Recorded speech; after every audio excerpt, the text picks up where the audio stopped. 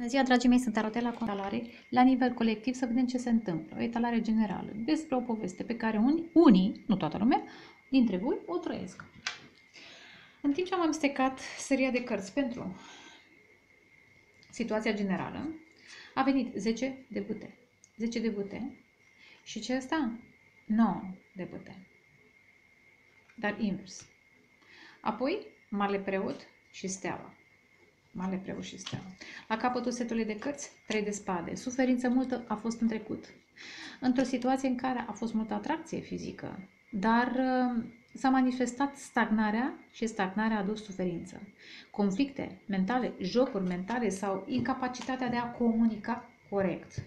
Și toate aceste lucruri, pe lângă dezamăgirea pe care au produs-o, au produs un consum mare de, de energie. Unii dintre voi ați fost foarte vulnerabili, ați lăsat garda jos în această poveste de dragoste și v-ați consumat foarte mult. Însă, ce e foarte, foarte interesant, apare steaua și mare preot. Prin credință, ambele reprezintă cre- credință. Ambele reprezintă eventual o trezire cu trăsnetul. O trezire care vă va aduce la la realitate, la o altă realitate spirituală. Stai, ce fac? Îmi consum energia în această poveste, stând pe loc, consumându-mă. De ce? De ce? Vă întoarceți la, la Dumnezeu și vă concentrați pe vindecarea voastră, când steaua înseamnă vindecare, și pe stabilitatea voastră și mai ales stabilitatea voastră spirituală energetică din cealaltă serie de cărți a venit. Haideți să vă arăt. Și apoi începem etalarea. Fuga, fuga. 9 de monede și puterea. Sunteți independenți. Sunteți puternici. Eventual cineva, pe cineva a deranjat independența celuilalt. Poate nu sunteți toți independenți, dar vă păstrați, vă păstrați identitatea în relație și asta este mare lucru. Asta este mare lucru. Faptul că vă păstrați această independență, independență ce am, domnule? Sau identitate vă dă putere și îi intimidează pe ceilalți. Îi intimidează pe ceilalți. Și când intimidați, uneori ceilalți, din invidie, vă creează blocaje mentale. Nu, că nu ești chiar atât de puternic. Nu ești chiar atât de independent. Nu ești chiar atât de special ca nouă de monede, da? Nu, nu ești chiar așa. N-ai evoluat chiar așa de mult. Nu, ești ca noi, ești ca restul lumii. Nu ești chiar atât de special. Dar apare trezirea, asul de spade și am văzut și trăznetele mai devreme, da? Apare trezirea, vrei să vă eliberați. V-ați eliberat de blocaje mentale, de obsesii față de uh, persoane care vă țin corupți într-un uh,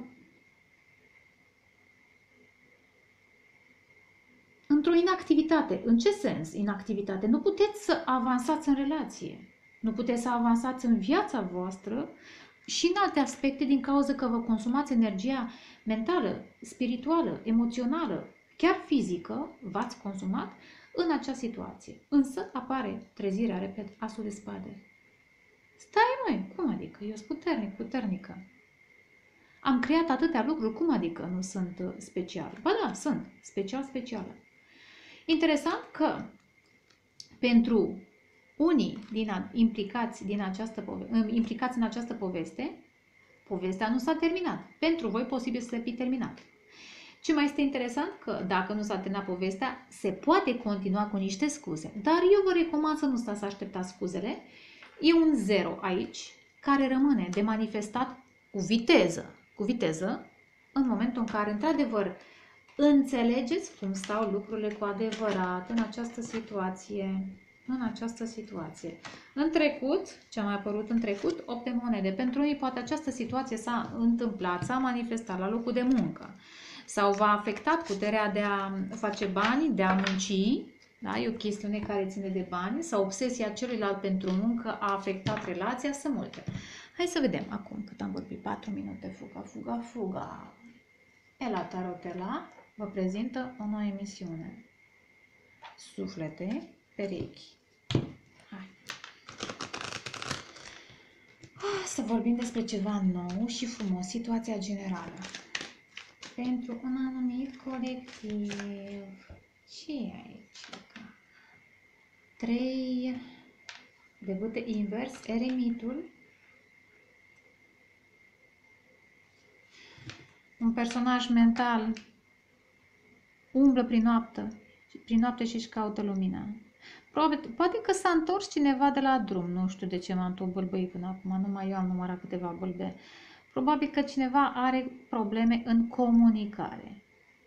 Dar am văzut și cu lumea invers și cu trei de bătăi invers, probabil cineva s-a întors de la o călătorie peste hotare sau de la distanță mare, da? Și e în căutarea luminii. E în căutarea luminii și a unor răspunsuri. Răspunsuri.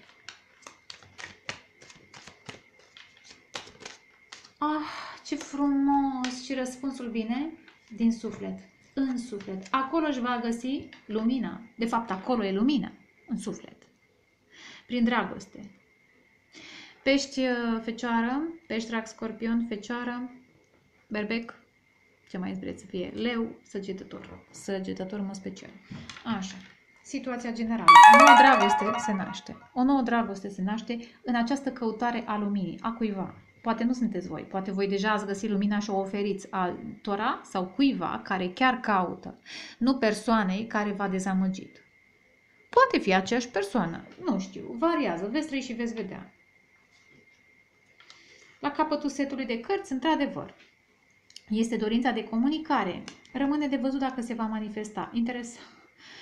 Da, um, două persoane foarte mentale se blochează unul pe celălalt. Um, aș spune eu, regele de spade este blocat de regina de spade.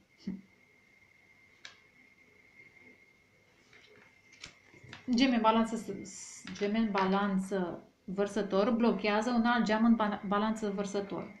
Ascendent, soare, venus, ce fi.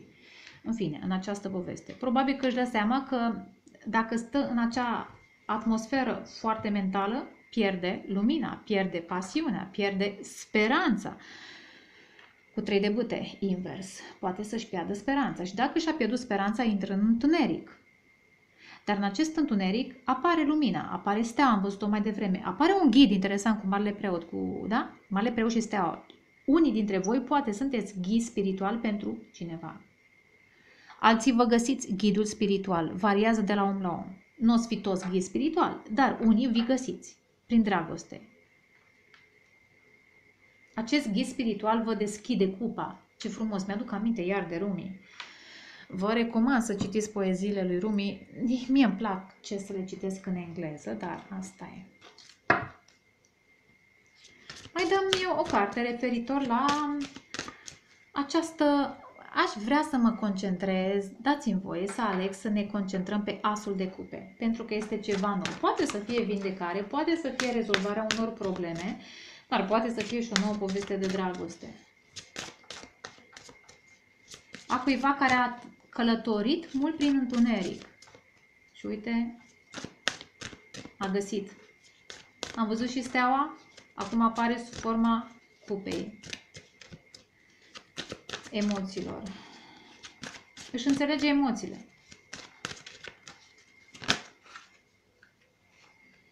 15. 15, să vă spună ceva. 15 în general este numărul diavolului. Probabil că cineva care s-a concentrat pe bani, pe ego, pe putere, pe uh, fuga de frici în aceste direcții, bani, putere, relații, obsesii, adicții, toxicități, da? Cineva a fugit de dragoste, dar iată se reîntoarce cu lumea invers și cu trei de băte invers. Și a dat seama că este în întuneric. Ceva o trezire s-a produs la un moment dat. 15. Aici este ursul. Evident că nu am citit forma tarotului, dar ursul vine din întuneric, dintr-o hibernare. Hibernare este într-un fel sau altul și la eremit. Și la eremit e cartea fecioarei a unor aspecte în fecioară sau a celor care au tendința de a se închide în ei, celor care sunt introvertiți din natură.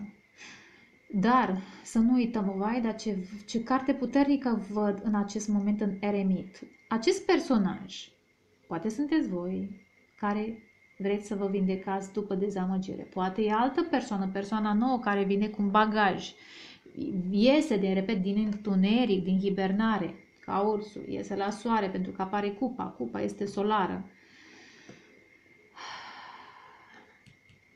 Acest personaj are o forță, însă nu o conștientizează.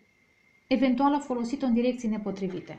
La capătul setului de cărți avem 11. Am spune justiția și turnul. Dar 11 vine aici, în aceste cărți, cu un alt simbol al biciului. Biciului. Ah, acum simt altceva. Ar putea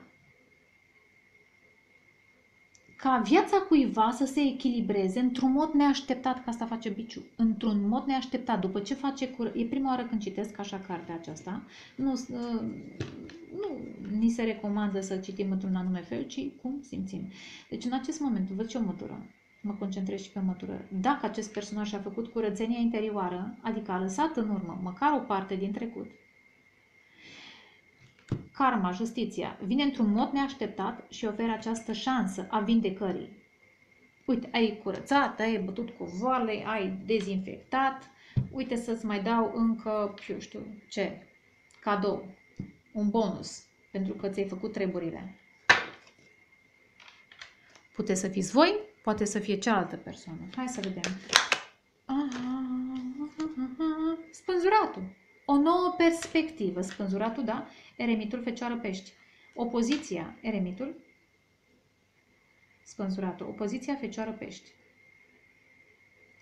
Muncă zilnică, apropo de curățenie în casă, treburi, obligații, în opoziție cu spiritualitatea.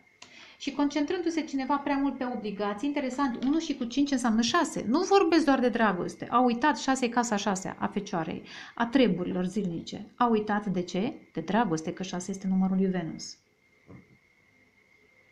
obligații, îndatoriri, serviciu, pentru alții, nu pentru ei. Regele de monede. Iar taur, fecioară sau capricorn. Dar Așa a fost educat, probabil, regele de monede, figură tradițională. Așa a fost educat.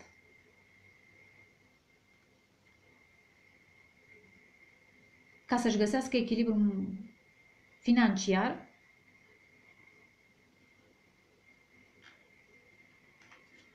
a fost dispus să piardă nopțile, cu griji, cu stres, cu... Nu, asta e, aduce, da? Hai să vedem, asul de cupe. Sunt foarte curioasă asul de cupe. Dați-mi voie să mă concentrez pe asul de cupe. Șapte de spade. Și cinci... Ah, și împăratul. Oh, oh, oh, împăratul. Cinci de putere. Adică, pentru a manifesta stabilitate, cineva s-a concentrat foarte mult pe muncă și a fugit de dragoste. A fugit de emoțiile sale. Ia uite. Iar apare nebun, nebunul, da, lumea. 9 de monede și puterea. Interesant, iar revin aceste cărți. Și doi de cupe la capătul setului de cărți. Se întâmplă această dragoste în viața cuiva. Dar și cu soarele. Ia uite, după ce face curățenie, după ce se eliberează, am văzut, se eliberează de cupele care sunt în plus. Ce atâtea pahare pe aici prin casă? Sunt goale, sunt prăfuite, s-a lipit vinul, zahărul, ce așa. Da? Hai, valea, aruncăm tot afară. Facem curat, mergem către nouă de cupe, către dragoste, către respect față de noi înșine.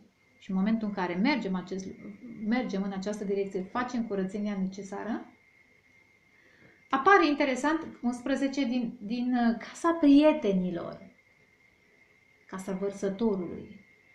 Vedeți că acum citesc altfel, așa sunt ghidată. Din casa vărsătorului, din casa prietenilor, apare altcineva care, într-un fel sau altul, neașteptat, aduce echilibru, dreptate și eventual niște informații foarte, foarte speciale. Dar, am zis, în momentul în care se eliberează, cine se eliberează? Voi, eventual ambii, că sunt două suflete perechi, Probabil că în paralel ați făcut această curățenie și se manifestă 0, momentul 0. Da? Și în momentul 0, buf, vă întâlniți? E, un pic mai facem teatru, dar apare o comunicare, o întâlnire în care comunicați și simțiți, ia uite, fluturaș în stomac. Simțiți că sunt emoții, simțiți că e ceva minunat între voi. de fapt, e ceva minunat. Și, de fapt, mai sunt oameni frumoși.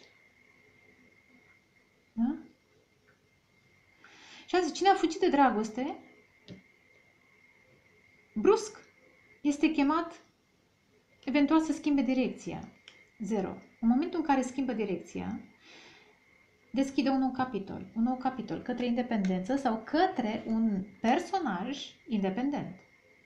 Dacă nu independența, am zis, este o nouă identitate într-un cuplu. Poate. Deși eu citesc acum, în fine, despre niște oameni care încep să iubească după o perioadă de dezamăgiri.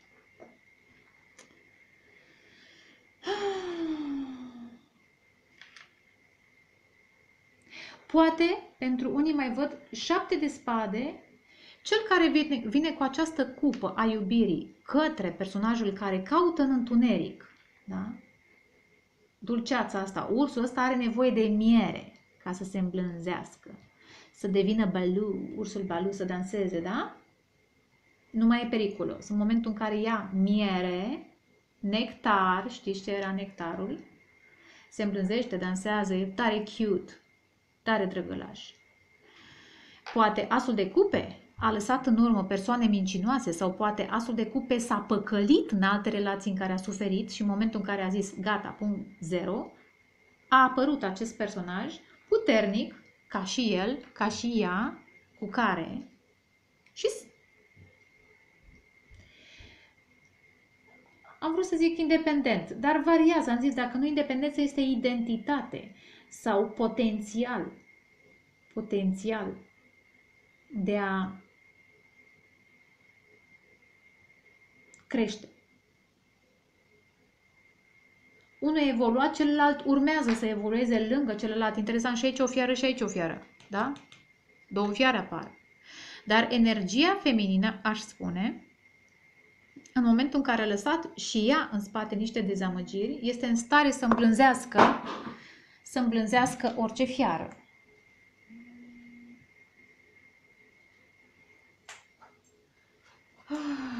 interesant, a picat acest set de, ca, de tarot, set de cărți, cu faetonul sus. E necesară detașarea de trecut și călătoria către vindecare către stea, da? Hai să vedem eremitul. Eremitul. Hai să punem și doi de cupe aici, doi de cupe și soarele. Doi de cupe și soarele, să știm că am vorbit despre așa ceva. Ia, dăm, dăm și despre eremit câteva cărți. Eremit. Dar fiind un 3 întors, dacă a mai fost o a treia persoană sau o a patra, acestea sunt, mă, ce păi pică, acestea sunt uh, eliminate. Și rămân doar două bute. Ce facem noi doi? Două bute, două cupe, da? Ce facem? Eremitul are spânzuratul. Ia ce pe aici. Asul de cupe, asta e. Deci eremitul întâlnește asul de cupe după o perioadă de stagnare și după ce își schimbă perspectiva. Interesant. Trei de cupe, întâlnirea cu sufletul pereche. Vai, justiția, am zis exact asta, am zis, se echilibrează viața. Și iar, cavalerul de cupe, comunicarea. Comunicarea din suflet învață să comunice. Eventual voi comunicați și învață și acest personaj comunicarea, limbajul dragostei, aș spune. La capătul setului de cărți, interesant. Acest personaj devine stabil în întâlnirea cu ea, 2 de cupe, 6 de cupe. În întâlnirea cu dragoste, acest personaj își dorește 9 de spade, să devină rege de monede, să devină stabil, loial, responsabil. Știe că pentru asta trebuie să treacă prin multe. Cavalerul poate să devină oricând rege, după ce câștigă niște bătălii. Bătălii cu ei, cu alții, da? Eu așa văd cărțile. Ia uite. Și 8 de monede. Poate să muncească. Este doritor să muncească, dacă vrea. Dacă vrea. Dar eu cred că va vrea. Eu cred că va vrea, pentru că, uitați, uh, iar apare 8 de cupe și nebun și aici. Și acest personaj ar, a lăsat deja, a început să lase, a început. Poate mai lucrează, poate și voi lucrați, depinde, nu știu unde sunteți unul, unde sunteți celălalt. Aici este o persoană Aici este altă persoană. Ce a picat aici? Cinci de cupe, interesant.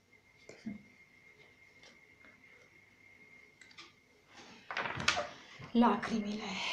Ați plâns în trecut și unul și altul. Nu neapărat unul pentru celălalt, poate separat. Poate separat. Așa. Hai să vedem, folosind aceste cărți ale trecutului, dăm despre trei de bâte. Iar apare justiția și luna. Cineva n-a înțeles ce înseamnă să fii corect, ce înseamnă să fii angajat, ce înseamnă, a fost o confuzie referitor la dreptate. Din acest motiv, acest personaj, pentru că n-a înțeles dreptatea așa cum ar fi trebuit să o înțeleagă, a trebuit să călătorească mult, prin întuneric, și la un moment dat să spună, gata, vreau, vreau lumină, vreau lumină. Unde e lumina? Și în această căutare a luminii a întâlnit dragostea. Asul de cupe. Ce frumos, interesant, ce frumos. Ia dă-mi acum ce va fi după aceasta, în următoarea... Da, dragii mei, iar am probleme, iar s-a întrerupt. Hai să vedem că va trebui să lipesc și cine știe când o să descarc acest, această filmare. Hai să vedem uh, ce va fi sau ce urmează să se manifeste, da? Este after. After, uh, after ce? Da, hai să nu, hai să vedem. After ce? Deci 15, acest 15, trebuie să descopere iubirea de zi cu zi. Sau în planul acesta zilnic, casa șasea a fecioarei, apropo de fecioară, da? Să descopere că viața de zi cu zi este mult mai frumoasă în momentul în care ai la dispoziție bun bun. Ce e mai bun bun decât un as de cupe, nu? Pentru mine, asta e cel mai bun bun. Soarele, da? Un companion, un prieten, un iubit, iubită, da? Care te înțelege, te simte și îți aduce bucurie. Da? 6 de cupe, 2 de cupe, soarele. 10 de cupe în timp ce vorbesc. Hai să vedem. În următoarea perioadă. Nu ne aruncăm până departe. Cavalerul de, cup, de bâte, uuu, 9 de cupe deja. Am zis, într-un mod uh, excepțional, neașteptat, după o perioadă de însingurare în cuplu, apare, iau, de starea asta de beatitudine, de... De fericire, da, de fericire. Cavalerul de bute, ce urmează să se manifeste? Adică, unul dintre voi va acționa într-un mod uh, extravagant, uh, pasional. Pasional nu înseamnă musai sexual, deși e posibil să fie și sexual. Ia uite, remitul iar apare. Asul de băte va fi la un moment dat, cât de curând și sexual, dar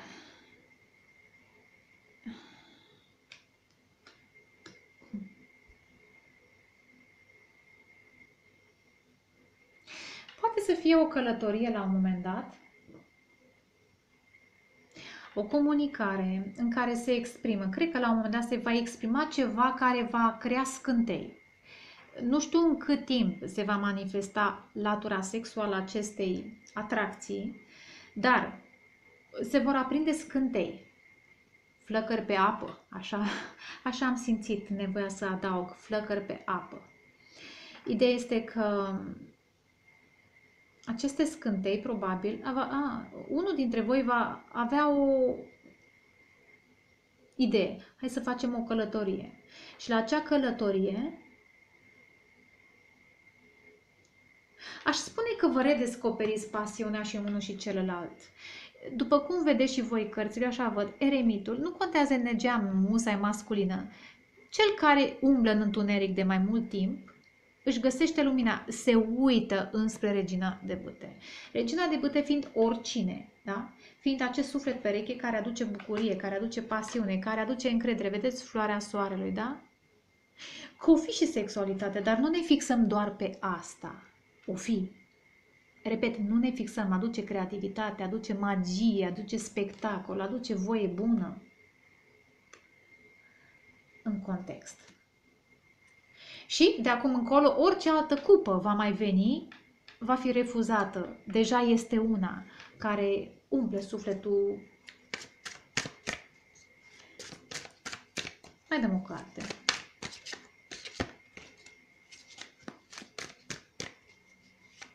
Eu zic că va fi, se va iniția o călătorie. Se va iniția o călătorie. Ops, ia uite, și 10 de monede.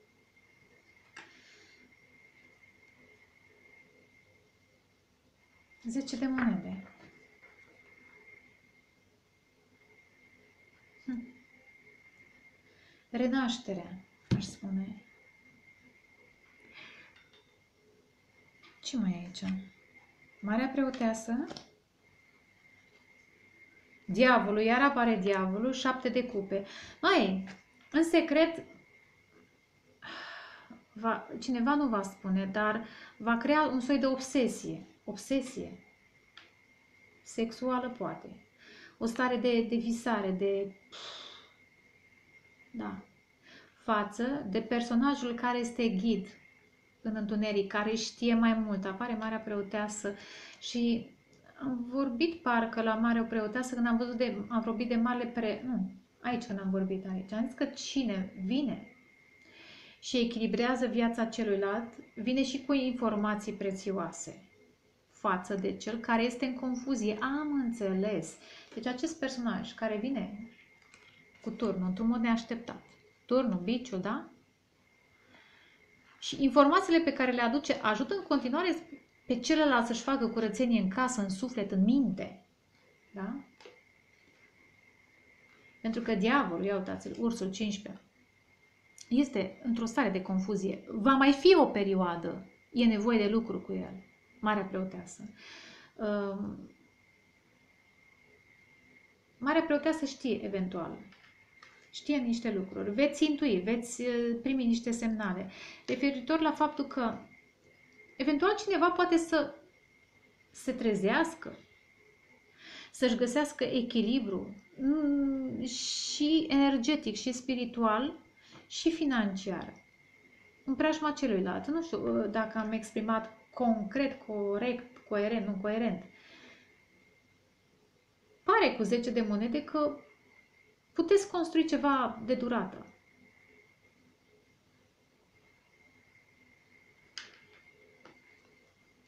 Mai pun aici. De comunicare emoțională aduce trezire. Mai dăm o carte pe 10 de monede. La un moment dat. Sau poate, până se va construi acest 10 de monede, veți merge la casa unuia, la casa celuilalt. Uite.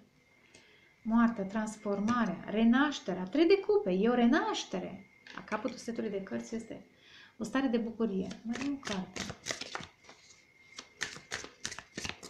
Transformare foarte intensă. Ieșirea din tradiție, ieșirea din uh, o anumită comunitate pentru a-ți regăsi ascensiunea, identitatea, direcția. Ia uite, magicianul, măi, pentru a manifesta viața pe care ți-o dorești. Wow, ce frumos! Unul dintre voi, da.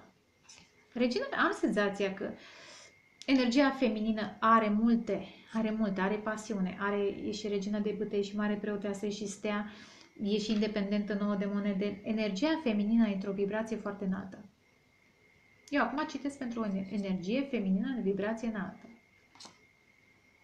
care a cucerit lumea într-un fel. Mai zi pe foarte scurt, că văd că se tot întrerupe. La un moment dat, dacă cineva a fost căsătorit, va renunța la căsătorie ca să manifeste ceva nou în acest context.